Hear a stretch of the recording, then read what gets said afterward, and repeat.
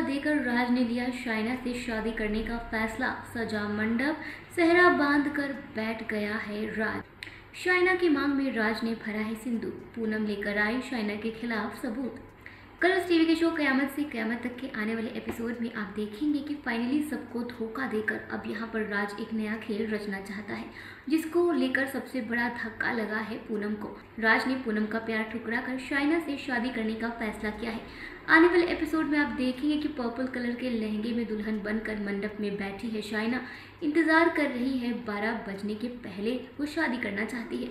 ऐसे में यहाँ पर सहरा पहनकर राज मंडप में आता है। दोनों साथ फेरे लेते हैं और शाइना की मांग में सिंदूर भरता है राज।